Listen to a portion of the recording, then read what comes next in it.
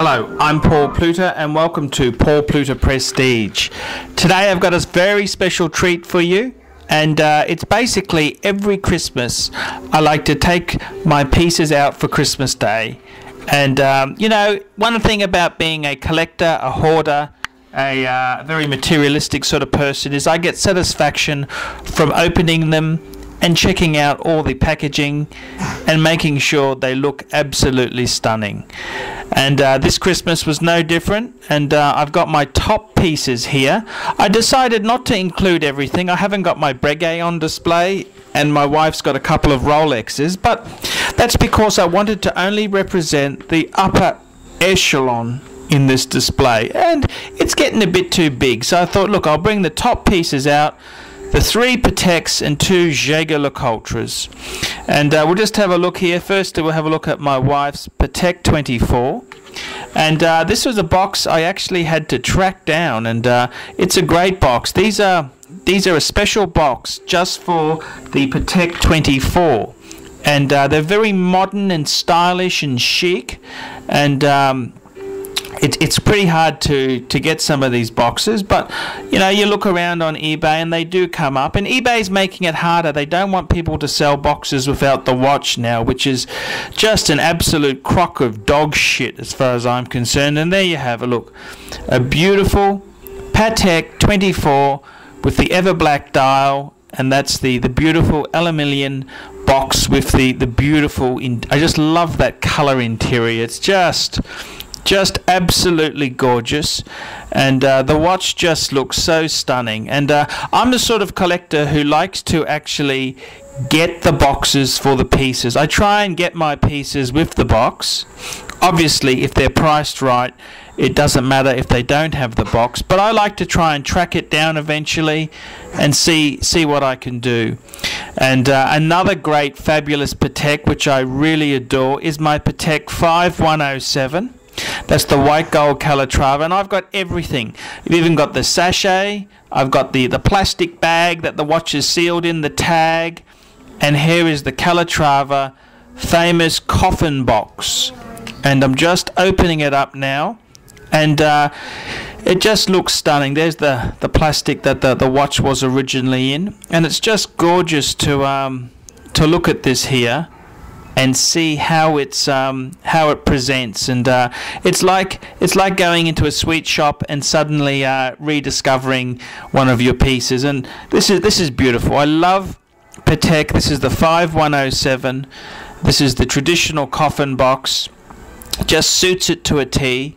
And uh, I just love taking some photos of my boxes. And, uh, you know, it's part of being materialistic and being a hoarder and collecting these things and uh, they're just just really gorgeous I think this ensemble here I paid just under 50,000 Australian dollars which is about 51 52 US uh, 52,000 US dollars so yeah that's a, that's a reasonable investment I've got and I've got the extract from the archive here we go. Jaeger-LeCoultre. This is my Grand Reverso date. This is the one that my wife gave me for my birthday. And this came everything box papers, absolutely everything. It even came with a valuation from the, the Brisbane jewelry store, Hardy Brothers, um, that, that was issued with the piece. So I got absolutely everything, and I've, I've fitted this piece with my new ostrich.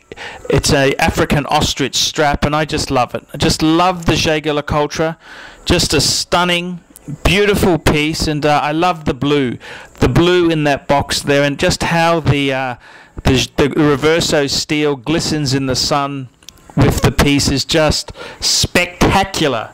And I, I love I love having a look at the boxes, and I like to do this also just to check out the box, the condition, and make sure nothing's deteriorated and it's all holding up well and uh, it's just beautiful to see here. And uh, again, I've this is my wife's Jaeger-LeCoultre Reverso Shadow.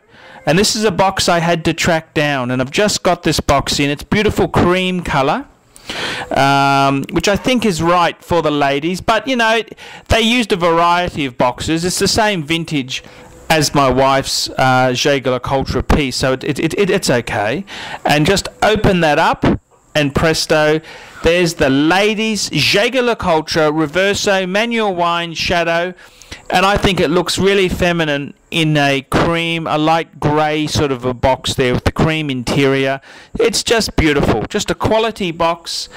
You know, you can tell this is not a cheap piece of shit watch. This is a quality piece and uh, you know it's something that is just I love it. I absolutely love Jaeger LeCoultre, and you can see why I've chosen to highlight these pieces in my review. They're just beautiful, quality, stunning pieces, and uh, the piece that of uh, resistance. This is the uh, the Patek annual calendar 5035 and uh, I just recently got this, and I, I think this box actually isn't quite correct. This is a more modern box, but uh, hey, I think it suits it perfectly.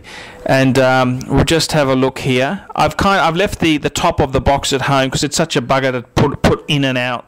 So we'll just have a look here. This is the the beautiful new Patek um, box, which they use for a lot of pieces now, including the current 5146 annual calendar. We'll just open it up and we'll have a look inside and wow.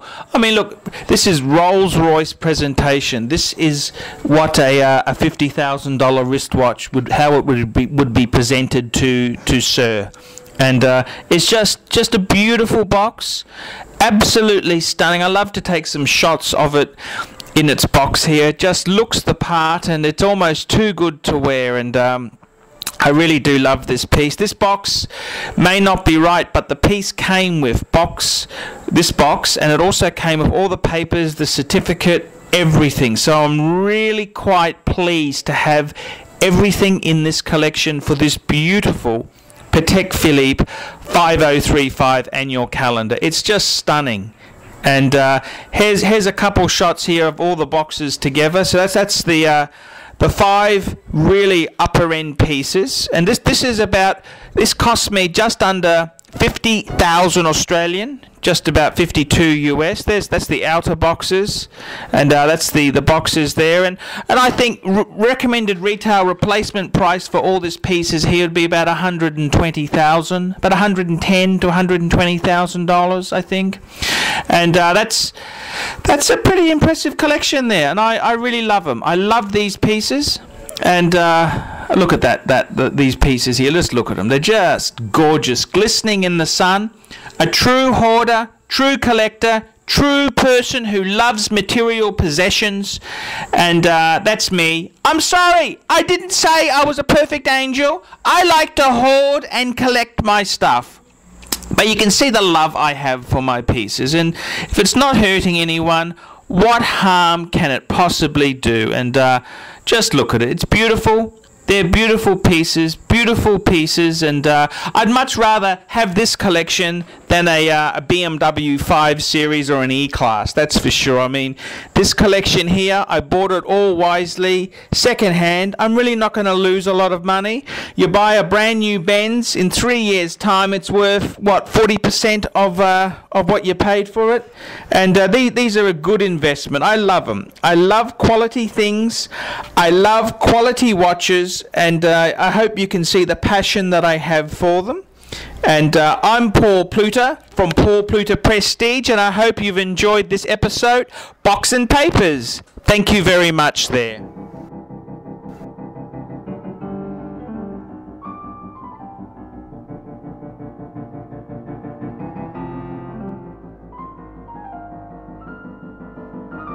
Hey Joshy, tell us about these. Oh my god, where are these mice from? Which mice? Show me the mice. Which one's Squeak? Where's Mousy? Mousy's hiding. What? I can't find Mousy. And where's Squeaker?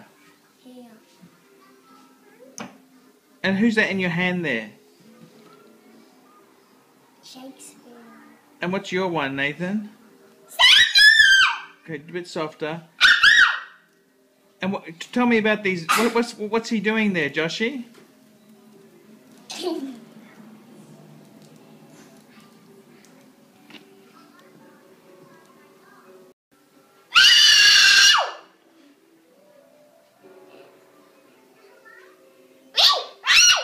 What's he saying? Sh- show me the other mice on the table here. Who's that?